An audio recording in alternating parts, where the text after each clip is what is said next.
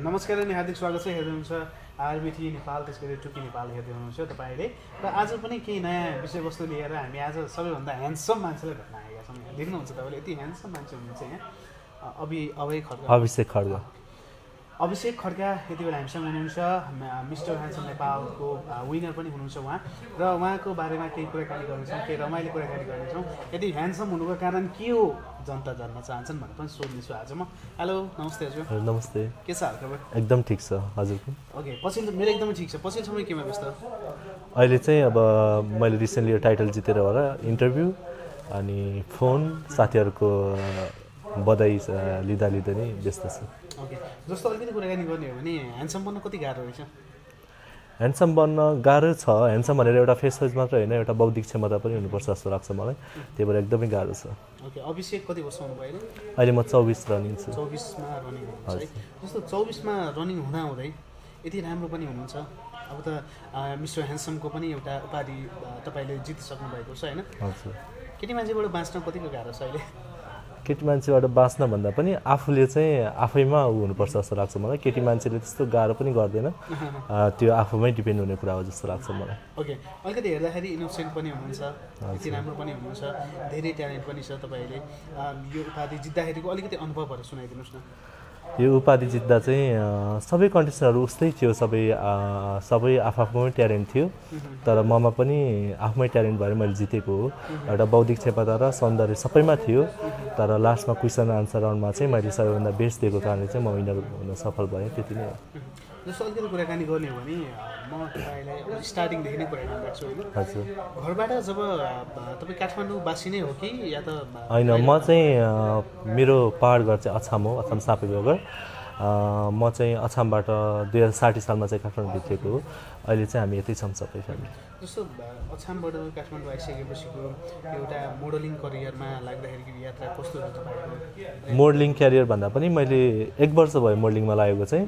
Modelling भनेर त्यस्तो कुनै एजेन्सी मार्फत होइन कि म कहिलेकाहीँ पार्ट टाइमको हिसाबमा चाहिँ टिभी एडहरू अनि फोटोसुटहरू चाहिँ गरिरहेको अनि अहिले चाहिँ यो चाहिँ एउटा दिदीले गर्दा भाइ यो ठाउँमा यस्तो खुलिरहेछ म तेरो फर्म भरिदिएको छु।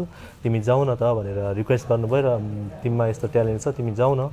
भनेर भनिसकेपछि चाहिँ म त्यसरी नै त्यो ठाउँमा पुगेँ। तर हुन्छ नि त केही तपाईँले भनिसक्नुभयो यदि म mister Nepal mister handsome Nepal भयो भने ठिकै छ भएन भने मेरो अभ्यास हुनेछ भनेर गएको हो। फाइनली मैले टाइटलहरू गरेँ एकदमै खुसी छु। जस्तो अलिकति कुराकानी गर्दाखेरि तपाईँले पढाइ सँगसँगै मोडलिङ करियर पनि अगाडि लानु भइसकेको छ। टिभी एडहरूदेखि लिएर तपाईँले धेरै कामहरू गरिसक्नु भएको छ होइन? काम गर्ने अन्तरालमा नेपालमा चाहिँ मोडलिङ करियरमा टिक्न कतिको गाह्रो रहेछ? टिक्न गाह्रो भन्दा पनि त्यो पनि आफैमा भर पर्छ जस्तो लाग्छ। यदि मान्छेले आफूले म यो गर्छु भनेपछि मान्छेले गरेरै छोड्छ कि। कति मान्छेहरू केही समय गर्छन् तर केही समयपछि चाहिँ यार कस्तो छ? भनेर चाहिँ आफै हट्नुपर्छ देखेको छु। किनकि त्यो आफ्नै कारणले हो कि। आफैले म यो गर्छु नि म यो फिल्डमा लाग्छु नि भनिसकेपछि त्यस्तो हुनै छैन कि। केही कुरा म गर्छु भनेपछि मान्छेले गर्न सक्छ र यो कुरा राम्रो भनेपछि मान्छेले राम्रो वेमा लिएपछि राम्रै हुन्छ। जस्तो तपाईँको अलिकति कस्तो खालको हुनुहुन्छ? अलिकति रिसाहा खालको हुनुहुन्छ कि अलि अँ, रमाइलो खालको हुनुहुन्छ? कस्तो खालको हुनुहुन्छ म रिसा भन्दा पनि त्यस्तो रिसा छैन। म कसैसँग रिसाउने नरिसाउने मान्छे हो फर्स्ट अफ अल चाहिँ। म रिसाएको मान्छेलाई पनि फकाउने खालको मान्छे हो त्यही भएर म एकदमै रमाइलो मान्छे छु। ओके भनेपछि आफूले आफूलाई चाहिँ इन्टरटेनिङ गर्न के गर्नुहुन्छ? काठमाडौँमा इन्टरटेनिङ गर्नु पर्दा चाहिँ म फ्यामिलीहरूसँग एकदमै रमाउँछु। घरमै बस्यो फ्यामिलीसँग रमायो एकदमै म फुड लभर छु। घरमा बसेको बेला चाहिँ आफै बनाएँ अनि खाने नयाँ नयाँ कुराहरू बनाउँदै खाने एकदमै मेरो बानी छ। म चाहिँ एकदमै घरमा बसेको बेला चाहिँ नेपाली खाना विशेष गरी फ्यामिलीलाई खुवाउँछु आफू घरमा बसेको बेला चाहिँ। अनि त्यस्तै जस नेपाली खाना अनि पास्ता चाहिँ मेरो बेस्ट हो।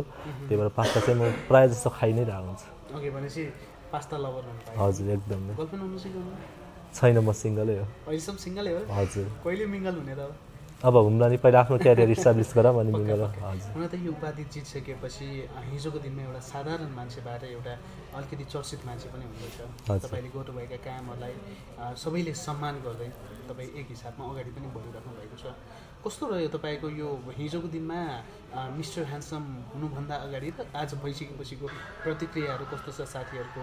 कस्तो खालको जस्तो तपाईँले प्रतिक्रियाहरू पाइरहनु भएको छ? साथीहरू एकदमै खुसी छन्। सबले बधाई दिने र कहिले पार्टी खुवाउने भन्ने खालको कुरा गरेर छन्। साथीहरूलाई पनि मैले भेट्नै पाएको छैन। एक दुई दिन बिजी भएको सेड्युलले गर्दा चाहिँ।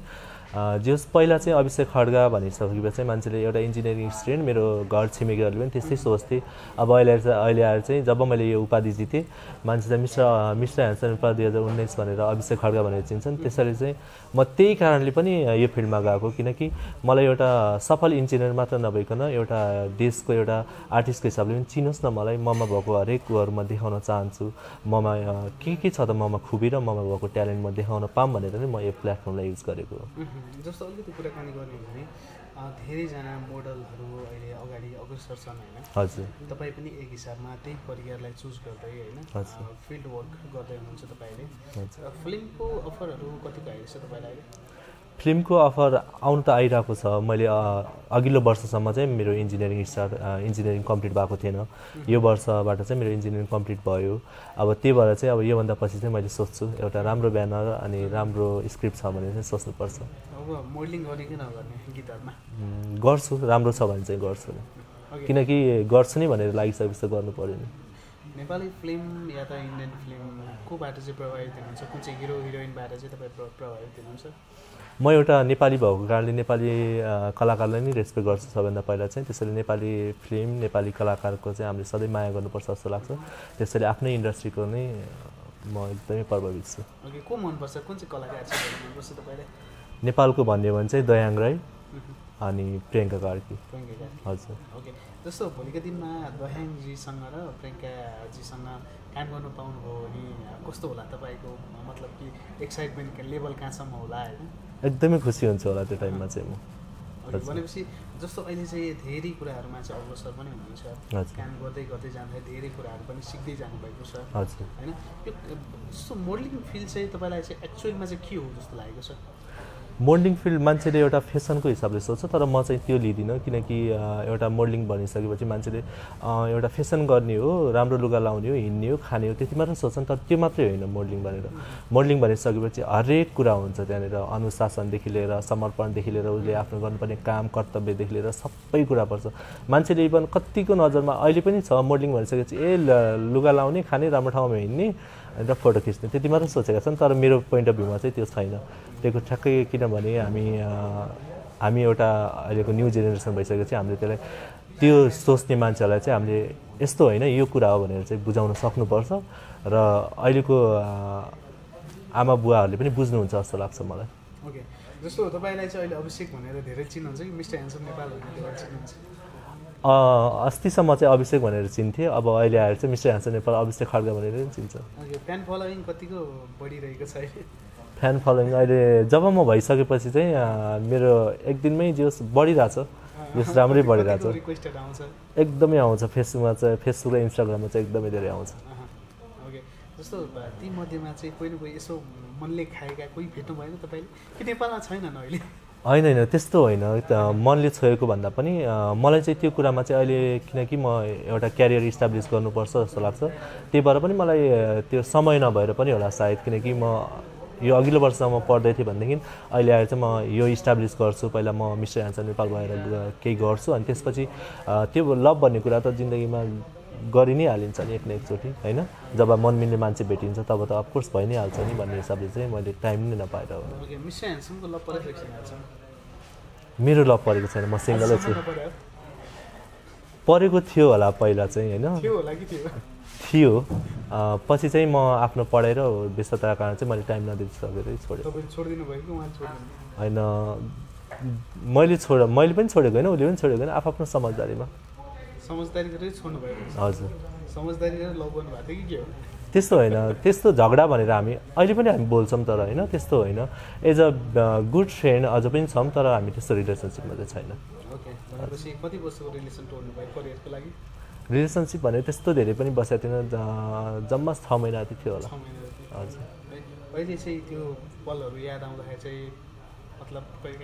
होला? कहिले पनि आएन। एकदमै खुसी छु। किनकि मलाई केही गर्छु मैले केही गरेर देखाउँछु भन्ने मलाई लागिरहेको थियो र गरेर पनि देखाएँ अझै पनि गरेर देखाउँछु होला जस्तो लाग्छ। हुन त एक हिसाबले हरेक केटा मान्छेको सक्सेसको पछाडि एकजना केटी मान्छेको हात हुन्छ भन्छन्। तपाईँ त हातै छोडिदिनु भयो आफ्नो सक्सेसको लागि। होइन त्यो हात छोड्नु पनि एउटा राम्रो थियो होला जस्तो लाग्छ मेरो विचारमा चाहिँ किनकि सायद मैले हात छोडेको थिइनँ भने आज आज म यो लेभलमा पनि हुन्न थियो होला। होइन? त्यही भएर पनि जस खुसी नै छु म पनि खुसी छु ऊ पनि खुसी छ। मिस्टर ह्यान्डसम भनेर चिनिसक्नु भएको छ अब त। आफूले आफूलाई परिचय गराउनलाई तपाईँलाई गाह्रो पनि हुँदैन। होइन? अब चाहिँ कस्तो कस्तो खालको कामहरू चाहिँ गर्ने सोचमा हुनुहुन्छ लाइफमा के गरौँ? कस्तो खालको कामहरू गरेर चाहिँ अगाडि बढौँ भन्ने सोचिरहनु भएको छ तपाईँले? लाइफमा म चाहिँ एउटा पहिला चाहिँ एउटा सफल मान्छे बन्न चाहन्छु। एउटा राम्रो मान्छे भएर चाहिँ कसै दुःखी असहायहरूलाई सहयोग गर्न पाऊँ। मैले आफ्नो सक्दो मेरो आफ्नो क्षेत्रबाट मेरो आफ्नो कर्तव्य र मैले गर्नुपर्ने एउटा मानवीय व्यवहारदेखि लिएर सबै कुरा चाहिँ मैले कसैलाई मेरो जरुरत पर्छ भने मैले उसलाई सहयोग गर्न सकौँ भन्ने मात्रै मेरो चाहना हो। ओके यहाँसम्म जिउँदै आउँदाखेरि लाइफ चाहिँ के जस्तो हजुर? यहाँसम्म आउँदाखेरि चाहिँ लाइफ भनेको चाहिँ एउटा लाइफ भनेको चाहिँ हाम्रो फर्स्ट त जन्मनु नै हाम्रो कला हो। जन्मिसकेपछि चाहिँ हामीले आफ्नो जीवन कसरी सफल बनाउने भन्ने चाहिँ आफ्नो महान वीरता हो जस्तो लाग्छ कि मलाई चाहिँ। त्यही भएर चाहिँ हामीले लाइफ आफ्नो लाइफलाई चाहिँ सफल बनाउनको लागि चाहिँ हरेक शक्तिहरूको युज गर्नुपर्छ। जस्तै ज्ञान शक्तिदेखि लिएर कर्म शक्ति लिएरदेखि लिएर अनि इच्छा शक्ति समेत हामीले युज गर्नुपर्छ जस्तो लाग्छ मलाई। जस्तो अन्तिममा अन्तिममा छौँ हामी हजुर। कुनै कुरा मैले तपाईँलाई सोध्न बिर्से जस्तो लागेको छ तपाईँलाई? केही भन्न मन छ? छैन छैन छैन त्यस्तो केही पनि छैन। जति सोध्नुभयो खुसी नै छु। जस मेरै समय सान्दर्भिक जस्तो लाग्छ। ओके। तपाईँलाई यति बेला धेरैजना दर्शकहरूले हेरिरहनु भएको छ। देशदेखि विदेशदेखि लिएर तपाईँलाई धेरै माया गर्नुहुन्छ। विशेष त टुकी नेपाल त्यसै गरी आरबिटी नेपालबाट तपाईँलाई आगामी दिनहरूको धेरै धेरै शुभकामना छ। धन्यवाद। धेरै अगाडि बढ्नु होला। र तपाईँको धेरै फ्यान फलोवरहरू फिल्ममा देख्न पाइयोस् राम्रो। ब्यानरहरू देख्न पाइयोस् तपाईँ सधैँ अगाडि भएको देख्न पाइयोस्। बेला तपाईँलाई धेरै हेरिरहनु भएको छ। के भन्न चाहनुहुन्छ आफ्नो दर्शकलाई? सबैलाई धन्यवाद भन्न चाहन्छु। सबैभन्दा पहिला चाहिँ यसरी नै माया गरिदिनु होला। आगामी दिनहरूमा पनि म हजुरहरूको लागि चाहिँ मैले आफ्नो सक्दो आफ्नो प्रयासहरू चाहिँ जारी नै गर्नेछु। राम्रो राम्रो काम राम्रो राम्रो कामहरू गर्दै गएर तपाईँहरूलाई खुसी पार्नेछु भन्दै यति नै भन्न चाहन्छु। ओके हुन्छ धेरै धेरै धन्यवाद छ। तपाईँको आगामी दिन अझ शुभ रहोस् मिस्टर होइन कि? मिस्टर ओल्ड ह्यान्डसम नेपाल भएर आउनु होला होइन त्यो हुनु नै नेपालको लागि एउटा गर्व पनि हुनेछ। विगतका दिनहरूमा धेरै राम्रो कामहरू गरिसक्नु भएको छ। आगामी दिनमा अझै राम्रो काम गर्नुलाई शुभकामना छ thank you so much thank you